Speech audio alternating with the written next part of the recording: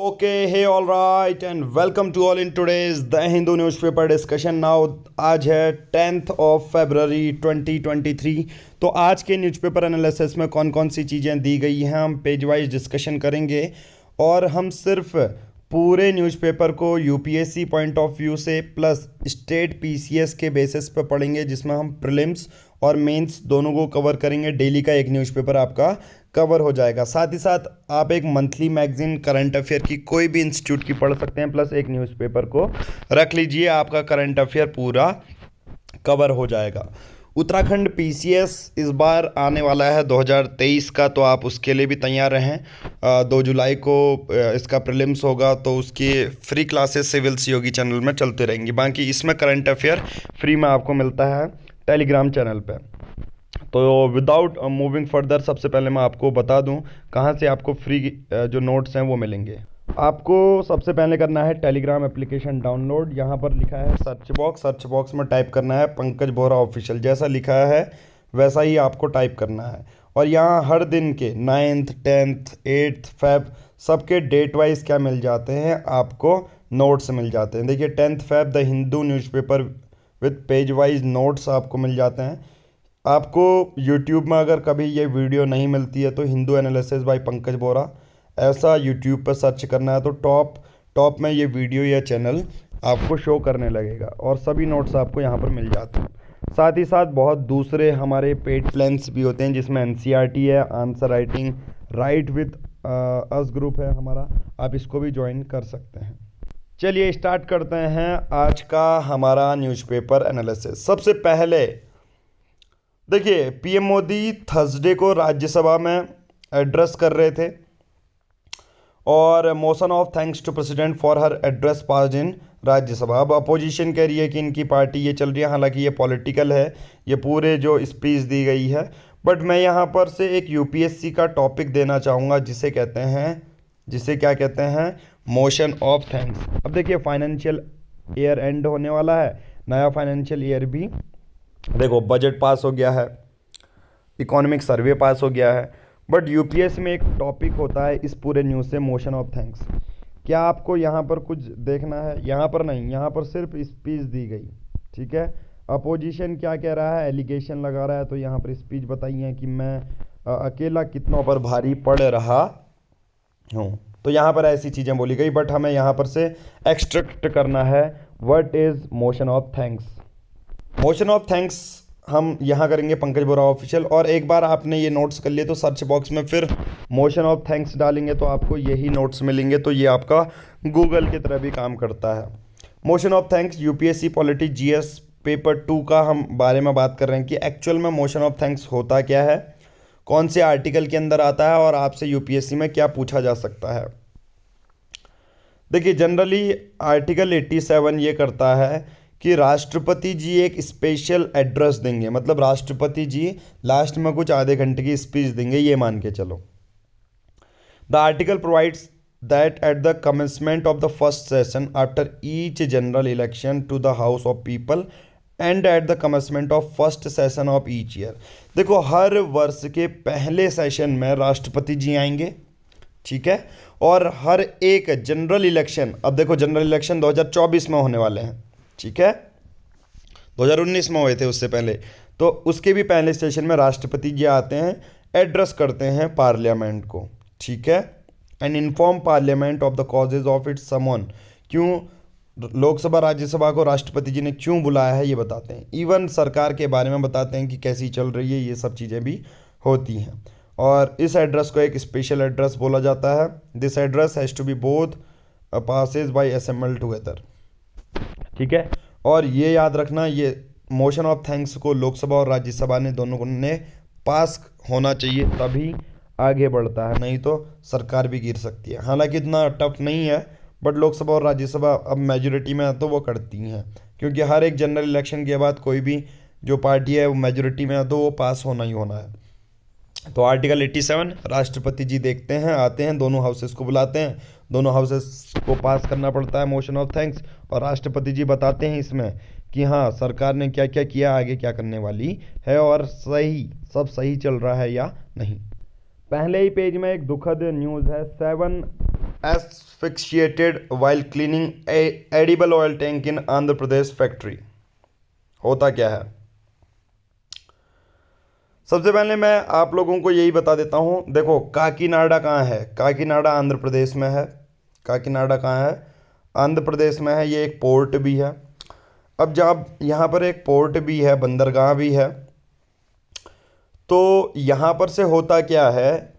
यहाँ से होता बहुत सिंपल है कि यहाँ पर से एडिबल ऑयल का जो ये टैंक था, लोगों ने मैनुअली जाकर इसमें सफ़ाई करनी शुरू कर दी। ठीक है? तो सात जो काम करने वाले लोग हैं एसफिक्सिएशन यानी कि इसको दूसरे शब्दों में आप बोलोगे सफोकेशन दम घुटना। इससे होता है during the move removal of sludge from edible oil tank edible oil tank जो खाने वाला तेल होता है उसकी रिफाइनरी इसको साफ़ करने के चक्कर में आंध्र प्रदेश में सात लोग मारे जाते हैं। अब यहाँ पर सबसे बड़ी बात आती है कि किसकी रिस्पॉन्सिबिलिटी है? क्या सरकार की है? क्या यहाँ पर ये ओनर की है? काकीनाडा ज़िले में ये चल रहा है, ठीक है? ये चला कहाँ? Ambati Subbanna and co oil mill at G Ram Ramjipeta village इस गाँव में ये चला, सात लोग मारे गए। अब चलिए, ये इंसिडेंट आपको बहुत दुखद लग रहा है बट इसके पीछे का सॉल्यूशन क्या है? एज ए डिस्ट्रिक्ट मजिस्ट्रेट अगर आप काकीनाडा ज़िले में होते अभी डिस्ट्रिक्ट मजिस्ट्रेट के बाद ये रिपोर्ट जाएगी तो वो क्या करना चाहेगा? सबसे पहले अगर दो तीन अगर सॉल्यूशन आपको देने हो तो मैं कहूँगा हर छः महीने में इंस्पेक्शन होना चाहिए उस एडिबल ऑयल टैंक का। दूसरा एडिबल ऑयल टैंक को मैनुअल स्केवेंजिंग जैसे मैनुअल स्केवेंजर भी होते हैं, जिसमें जो पिट में डायरेक्टली जाते हैं। तो आईआईटी वाली बहुत सारी ऐसी मशीनें हैं जिसमें जो मशीन से चीज़ें की जा रही हैं, ठीक है? मशीन से चीज़ें की जा रही हैं तो ट्राई ये करना चाहिए। एक प्रोविज़न ये निकालना चाहिए कि मशीन के द्वारा कोई भी अगर टैंक हो तो वो मशीन के द्वारा क्या करना चाहिए? साफ़ करना चाहिए राइट तो दो हमारी ये न्यूज़ हैं। एक मोशन ऑफ़ थैंक्स मैंने करा दिया, एक एसफिक्शिएशन करा दिया, जिसे सफोकेशन कहते हैं राइट ये नहीं करना। और देखो पहली पेज की अगर न्यूज़ देखो हिंदू न्यूज़पेपर देखो कब से चल रहा है। चल कब से रहा है देखो? 1878 आई थिंक यस ये देखिए। और आपकी पहली पेज में न्यूज़ सिर्फ़ क्या है? एक ये है, एक ये है, बाकी देखो ये एडवर्टाइजमेंट तो समझ रहे हो, आपको एक घंटा नहीं लगाना। तो पहली पेज की न्यूज़ अगर ये है तो दूसरी पेज में क्या होगी देखो? स्नोपिंग फाइनेंस पुलिस ये बेबी को किडनैप किया। तो आपको कोई भी ऐसी न्यूज़ नहीं देखनी जो आपके काम की है ही नहीं। तो ये भी ख़त्म। पेज नंबर तीसरा देखो। यहाँ पर पेज नंबर थ्री लिखा है। और यहाँ पर देखो पूरा ऐड दिया है। सोच रहे हो मतलब पेज आपके हिंदू न्यूज़पेपर में एक दो ही काम के हो रहे हैं। ठीक है? एक दो ही काम के हो रहे हैं। थोड़ा सा अब आपको पैटर्न बदलना पड़ेगा। तैयारी की जो आपकी अप्रोच है वो बदलनी पड़ेगी। साथ ही साथ हम फ़ोन गाइडेंस भी देते हैं। ईयरली प्लान हमारा चलता है, जिसमें हम फ़ोन गाइडेंस देते हैं। बच्चों को आंसर राइटिंग कैसे करनी है, वो बताते हैं। इवन यूपीएससी को कैसे टारगेट 2023 वाला कैसे टारगेट करना है, वो भी हम बताते हैं। तो आप हमसे जुड़ सकते हैं। आपको करना क्या है, बहुत सिंपल है। सबसे पहले तो चैनल को ही सब्सक्राइब कर लेना है। साथ ही साथ seven five zero five one three four eight nine one इस नंबर पर आप व्हाट्सएप कर सकते हैं कॉल कर सकते हैं और अपने सीट रजिस्टर करवा सकते हैं। साथ ही साथ अपने 2023 प्लान के बारे में भी हमसे पूछ सकते हैं। चलिए, हमारे काम का एक चीज़ है कि जो स्मॉल सेटेलाइट लॉन्च वहीकिल है, जो कि इसरो ने किया, अभी इसरो ने तीन सेटेलाइट भेजी। एक तो इसरो ने खुद की भेजी अर्थ ऑब्जर्वेशन सेटेलाइट ठीक है? अर्थ ई ओ एस का मतलब ये होता है अर्थ ऑब्जर्वेशन सेटेलाइट मतलब इसमें क्या होता है ना कि सेटेलाइट देखी जाती हैं। सेटेलाइट मतलब देखती है कि हाँ पूरे अर्थ को ऑब्ज़र्व करती है। इससे क्या क्या पता चल जा सकता है? जो मेट्रोलॉजिकल चीज़ें हैं वेदर वाली चीज़ें हैं, वो पता चल सकती हैं। कहीं पर भी पूरे अर्थ को ही ऑब्ज़र्व कर रहा है तो कहाँ सुनामी आ रही है, कहाँ बाढ़ आ रही है, ये सब चीज़ें बता सकता है। फिर एक US based Antaris Janus first को भी भेजा, जो कि अच्छी बात है। और Chennai based space kids Azadi sat को भी यहाँ पर भेजा with in four fifty kilometre of orbit तो ये इसरो ने ये भे, भेजे बट कहाँ से भेजे? सतीश धवन स्पेस सेंटर श्रीहरिकोटा से। ठीक है? आंध्रा। राइट आपको कुछ और करना है? इसी के बारे में वो डिटेल दी गई है हालाँकि ये इतनी ज़्यादा इंपॉर्टेंट नहीं है। Earth observation satellite zero seven एक सौ पच एक सौ छप्पन दशमलव तीन किलो की थी और इसको इसरो ने ही बनाया था। जनरली इसमें छोटी छोटी माइक्रो सेटेलाइट भी जुड़ी हुई हैं। It would design and develop a micro satellite accommodating new technology payload in quick new experiment include M M wave humidity sounder क्या क्या चीज़ें इसमें लगाई हैं? ठीक है? यही चीज़ें यहाँ पर बजाई, बताई जा रही हैं। ठीक है? तो आपको इतना डिटेल में नहीं पूछे जाएँगे but S S L V का फुल फॉर्म पूछा जा सकता है। स्मॉल सेटेलाइट लॉन्च वैकिल एक होता है P S L V polar satellite launch vehicle ये जनरली पोल्स में ये सेटेलाइट भेजी जाएगी. P S L V high earth orbit में भेजने के काम आती है. जो एस एस एल भी होती है लो ऑर्बिट में भेजने के लिए काम आती है और उनका वेट भी कम होता है. ठीक है, जैसे एक सौ छप्पन किलो ये सब, पर उसमें भारी होगा. तो ये चार सौ पचास किलोमीटर ऑर्बिट में ही फेंकने के काम आती है एस एस एल भी पी एस एल भी उससे ज़्यादा के लिए. ठीक है? चलिए वही रिक्रूटमेंट स्कीम हुआ स्कैम चला और कुछ नहीं है। ये देखो पूरे उसमें ये चल रहा। चलिए आप बात करते हैं एडिटोरियल्स की। सबसे पहला एडिटोरियल अपना है मॉनेटरी पॉलिसी कमेटी के बारे में। कल भी हमने न्यूज़पेपर में यही बात की थी कि रिज़र्व बैंक ऑफ़ इंडिया की जो मॉनेटरी पॉलिसी कमेटी है, उसने क्या किया है? जो लैंडिंग रेट हैं वो बढ़ा दिए हैं। लैंडिंग रेट बढ़ाने से 25 बेसिस पॉइंट से होगा क्या? कि जब आप कोई भी लोन लेने जाएगा ना, उसको महँगा लगेगा। कि पहले अगर छः परसेंट देना था तो अब आपको ब्याज सात परसेंट देना है। अब इससे होता क्या है, कभी भी लैंडिंग रेट बनाने से उसका एक ही मेजर एम होता है कि इन्फ्लेशन को कंट्रोल करना। किसको कंट्रोल करना? इन्फ्लेशन को कंट्रोल करना ही कहलाता है लैंडिंग रेट को बढ़ाना।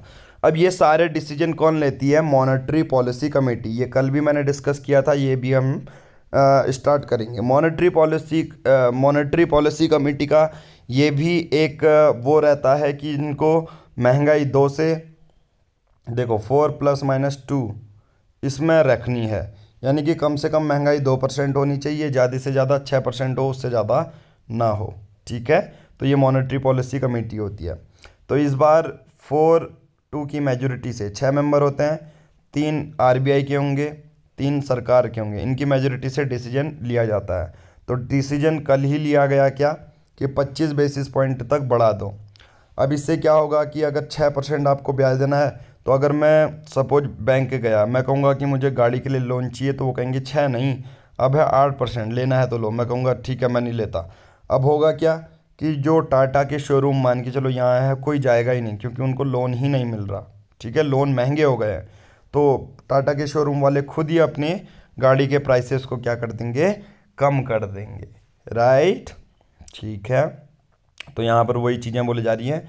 हमारा मेजर काम है इस चीज़ को पढ़ना। मॉनेटरी पॉलिसी कमेटी और रिज़र्व बैंक ऑफ़ इंडिया इन दोनों के बारे में छोटे से फैक्ट जान लेते हैं। देखिए रिज़र्व बैंक ऑफ़ इंडिया एक अप्रैल 1935 को इस्टेब्लिश हुआ। एक एक्ट है bank reserve bank of India act 1934 अब होता क्या है? कि रिज़र्व बैंक ऑफ़ इंडिया का ऑफ़िस हुआ करता था पहले कलकत्ता में परमानेंटली वो मुंबई में शिफ्ट हो गया उन्नीस सौ सैंतीस में। और सबसे पहले ये प्राइवेटली ओन्ड हुआ करता था उन्नीस में, इसको नेशनलाइज किया गया। मतलब सरकार के हाथों में डाल दिया गया। अब मैं स्ट्रक्चर के बारे में बात कराता हूँ। जो डायरेक्टर होता है या चेयरमैन होता है, चार साल के लिए नॉमिनेट होता है।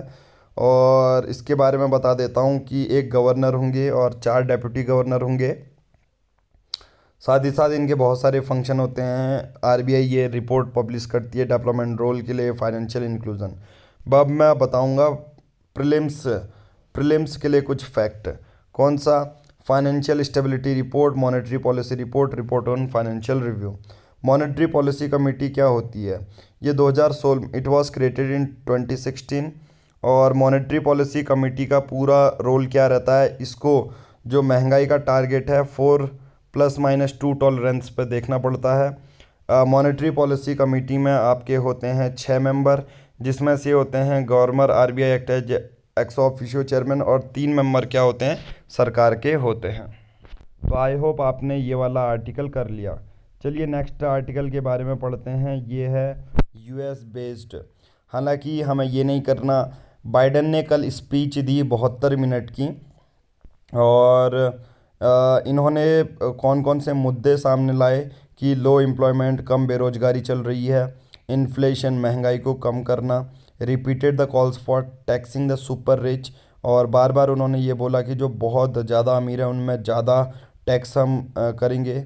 सोशल uh, सिक्योरिटी को कट नहीं करेंगे जो लोगों को स्वास्थ्य सुविधाएँ मिलती हैं उनको हम ईजली दे देंगे राइट ये चीज़ें उन्होंने बोली। साथ ही साथ उन्होंने ये भी बोला अपनी स्पीच में कि यूक्रेन और रशिया के बीच में जो चल रहा है वॉर उसमें जो है ग्लोबली लेवल पर प्रेशर है ये सब चीज़ें उन्होंने बोली है। बट उन्होंने बोला है कि सबसे पहले हम अपनी कंट्री को देखेंगे और उसके बाद दूसरी चीज़ें देखेंगे।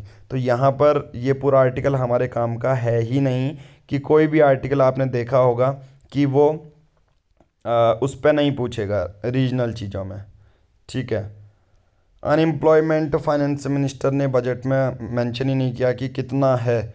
हालाँकि ये एक बंदे के व्यू पॉइंट पे है। पूरा आर्टिकल आपके काम का नहीं है कि एक बंदा ही सोच रहा है कि हाँ ये ये हो सकता है, ये ये हो सकता है। फैक्चुअल डिटेल बहुत कम दी गई हैं तो हम इसको नहीं करेंगे बट ये आर्टिकल करेंगे हम। जो है इंडिया और फ्रांस के बीच में। कभी भी इंडिया और फ्रांस के बारे में, एक रिलेशन के बारे में क्वेश्चन पूछा जाता है। सपोज़ इंटरनेशनल रिलेशन में यूपीएससी जीएस थ्री में जीएस टू में इंटरनेशनल रिलेशन पूछ दिया जाए तो आप क्या करोगे? उसमें आप क्या करोगे? देखिए, बहुत सिंपल है। पॉइंट वाइज मैंने बनाए हैं, जितने भी पॉइंट हाईलाइटेड हैं, उनके बेसिस पर आप पढ़ सकते हो। सबसे पहला देखो, आप कहोगे इंडिया और फ्रांस की जो स्ट्रेटेजिक पार्टनरशिप थी, उसको 25 साल हो गए हैं और जो हमने उन्नीस सौ अट्ठानबे में साइन की थी। एक तो ये बोल दोगे। पहला पॉइंट चलो। दूसरा पॉइंट क्या बोलोगे? फ्रांस इंडिया का मेजर ट्रेडिंग पार्टनर बन रहा है और ग्यारहवा लार्जेस्ट फॉरेन इन्वेस्टर भी फ्रांसी ही है। ठीक है, दो पॉइंट तीसरा पॉइंट क्या है? डिफेंस पार्टनर भी फ्रांस बन रहा है। उसके साथ साथ सेकेंड लार्जेस्ट डिफेंस सप्लायर भी 2017-2021 तक जो है फ्रांस बना। साथ ही साथ जो आपने आईएनएस विक्रांत में जो स्कॉर्पियन देखी, जो पनडुब्बी बनाई जा रही हैं, वो भी फ्रेंच के सपोर्ट से ही बनाई जा रही हैं। ये एग्रीमेंट 2005 से चल रहा है।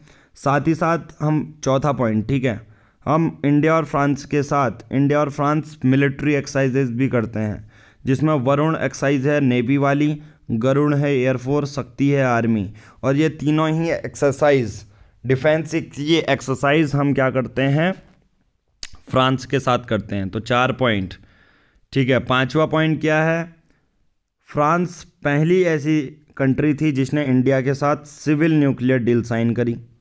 Six point seventh point France ने इंडिया को परमानेंट मेंबर बनने का ज़ोर दिया।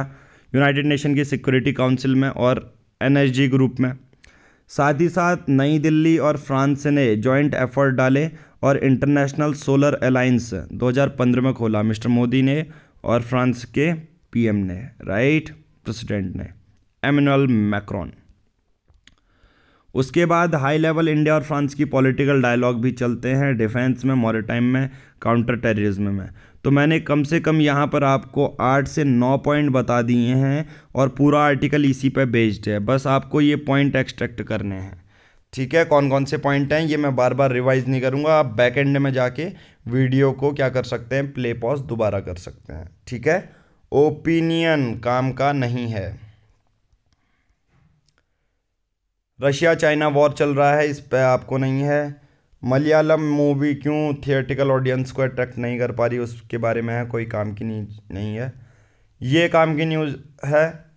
अभी सुप्रीम कोर्ट के कॉलेजियम सिस्टम ने पाँच नए चीफ जस्टिस को, पाँच नए चीफ जस्टिस का नाम हाई कोर्ट के जज के लिए अपॉइंट करने की बात की गई। ठीक है? अब हाई कोर्ट कौन कौन से हैं? वो कलकत्ता, इलाहाबाद, छत्तीसगढ़, गुजरात, मणिपुर, ये सब। कॉलेजियम सिस्टम के अभी मेजर हेड हैं डी वाई चंद्रचूड़ जी, जो कि पचासवें मुख्य न्यायाधीश हैं, चीफ जस्टिस ऑफ़ इंडिया हैं। साथ ही साथ उनके संजय किशन कौल, के एम जोसफ, ये सब भी हैं। कॉलेजियम ने प्रपोज किया T S Shiv Sivagnanam as the chief justice of the Calcutta high court. अब बात होती है कि इनको कलकत्ता हाई कोर्ट का चीफ जस्टिस बताया, बनाया जा रहा है। तो ये सब चीज़ें कौन कर रहा है? Collegium system. इससे पहले विक्टोरिया गौरी के बारे में बताया गया है कि उनके बीजेपी के से कनेक्शन थे। इवन उन्होंने माइनॉरिटीज़ के बेसिस पर हेट स्पीच भी दी थी। फिर भी उनको क्यों बनाया जा रहा है? अब है, और वो एडवोकेट थी तो कलकत्ता का जज बना दिया गया। तो सुप्रीम कोर्ट का कॉलेजियम क्या है, ये डिस्कस कर लेते हैं। What is collegium system? UPSC polity GS paper two में कॉलेजियम एक ऐसा सिस्टम है जिसमें जो अपॉइंटमेंट, एलिवेशन जजेस की, लॉयर्स को सुप्रीम कोर्ट और ट्रांसफ़र ऑफ़ हाई कोर्ट के जजेस को किया जाता है। तो इसमें पाँच लोगों का ग्रुप है, एक chief justice of India, D Y Chandrachud ji और चार सुप्रीम कोर्ट के सीनियर मोस्ट जजेस। ये क्या करते हैं? नाम सुझाते हैं सरकार को और सरकार उनको अपॉइंट करती है। वो जो नाम सुझाए गए हैं, कितना बाइंडिंग हो सकता है? जब कॉलेजियम सिस्टम दोबारा वो नाम सुझा दें केंद्र सरकार को तो सेकंड टाइम में वो बाइंडिंग रहते हैं, ठीक है? कि सरकार को मानना ही पड़ेगा। कैसे काम करता है? बहुत सिंपल है। कुछ लिस्ट बनाई सुप्रीम कोर्ट ने और दे दी सरकार को। सरकार ने माना तो ठीक है, नहीं तो सरकार कहती है, दोबारा नाम दो। दोबारा अगर नाम देती है तो सरकार को मानना ही पड़ता है बट टाइम पीरियड नहीं बताया गया है कि सरकार कब तक एक्सेप्ट उसको कर सकती है। बट कॉलेजियम सिस्टम भी हमने कर लिया। उसके बाद कौन सी न्यूज़ आपके काम की है? ये सब पॉलिटिकल न्यूज़ हैं, देखो, कोई भी आपकी न्यूज़ काम की नहीं है। अदानी ग्रुप वाला चल रहा था 24 जनवरी को हिंडनबर्ग रिपोर्ट आती है, बोला जाता है कि यार अदानी ग्रुप ने तो स्टॉक का मैनिपुलेशन किया है नाउ LIC के चेयरमैन हैं एम आर कुमार, ये कहते हैं कि हम अदानी ग्रुप से अभी मिलेंगे और देखते हैं कि किया है या नहीं। सबसे अच्छी न्यूज़ इंडिया की इमेज इंडिया की सॉफ्ट पावर और हार्ड पावर इतनी ज़्यादा बढ़ रही है। इवन अमेरिका के टॉप ऑफिशियल्स कह रहे हैं कि अगर भारत रशिया से तेल खरीदना जारी भी करता रहे तो हम उस पर सेंक्शन नहीं लगाएँगे। ऐसा बोला गया है। सोचो, सबसे पहले इंडिया पर सेंक्शन लगाने की बात कर रहा था कौन? अमेरिका कि अगर वो रशिया से ईरान से तेल खरीदता है तो आप पे सेंक्शन लगाए जाएँगे। हमारे राष्ट्रपति, यानी कि यूनाइटेड स्टेट्स ऑफ़ अमेरिका के राष्ट्रपति, किस पे? इंडिया पे सेंक्शन लगाएँगे राइट ये यूएसए का अपना कानून है कि जो भी देश उनके राइवल रशिया से ईरान से नॉर्थ कोरिया से कोई भी संपर्क बनाएगा तो उसका जो भी देश संपर्क बना रहा है, उस पर क्या है? चार्जेस लगाए जाएँगे। बट अभी टॉप ऑफिशियल्स क्या कह रहे हैं? सीनियर ऑफिशियल कि US will not sanction India for buying Russian oil सोच रहे हो कि इंडिया की कितनी ज़्यादा इमेज है। मैं बात करता हूँ मुंबई, महाराष्ट्र की। यहाँ पर सात किलोमीटर की एक अंडर, समुद्र के अंदर से एक टनल बनाई जा रही है। पहले जो कॉस्ट सौ करोड़ आ रही थी, इस टनल को बनाने से दस हज़ार करोड़ तक बढ़ जाएगी। अब ऐसा क्यों किया जा रहा है कि यहाँ पर हैं? क्योंकि मैंग्रोव के पेड़। मैंग्रोव के पेड़ क्या करते हैं? अगर बाढ़ आती है, कुछ भी आती है, अगर इंडियन ओशन सुनामी 2004 आपको याद है तो उसमें मैंग्रोव के जो पेड़ थे, उन्होंने बहुत हद तक डिस्ट्रक्शन को कम किया। तो मैंग्रोव के पेड़ को बचाने के लिए टनल नीचे से टनल खोदी जा रही है और वहाँ से बुलेट ट्रेन का प्रोजेक्ट पास किया जा रहा था, जो कि सौ करोड़ का था। अब उसकी कॉस्ट दस हज़ार करोड़ हो गई है, अगर ऐसा किया जाता है तो। ठीक है? और ऐसा क्यों किया जा रहा है? क्योंकि मैंग्रोव को भी बचाना है। वर्ल्ड के बारे में बात करते हैं। यूनाइटेड स्टेट्स ऑफ़ अमेरिका ने कहा कि जो चाइना ने यूएसए के एयर स्पेस में बैलॉन फोड़ा था, वो एक स्पाई है और कहीं ना कहीं चाइना के मिलिट्री हैं, सर्विलांस कर रहे हैं। चाइना ने डिक्लाइन किया US call after its balloon was down. Syria और टर्की, बीस हज़ार लोग मारे गए। सोचो, इतना बड़ा अर्थ क्यों काया? ठीक है? बिज़नेस की है, अदानी के स्टॉक एलआईसी के चेयरमैन मिलने वाले हैं, फिर हम डिस्कस करेंगे। स्पोर्ट्स में formula E set for grand यह है स्पोर्ट्स की न्यूज़ है Jadeja five for destroy Aussies Rohit bid India chase maiden title कुछ काम का नहीं है, जो आपके न्यूज़पेपर में नहीं आएगा। राइट देखिए, ये है ये है। तो आज की इस वीडियो में हम इतना ही करेंगे। और वीडियो को लाइक कर लीजिए, चैनल को सब्सक्राइब कर लीजिए, एक कमेंट लीव कर दीजिए अगर किसी ने एंड तक देखा है। तो एंड कोड है आपका श्रीन क्या है? S H R I N तो आज के इस वीडियो में मिलते हैं कल। Thank you have nice day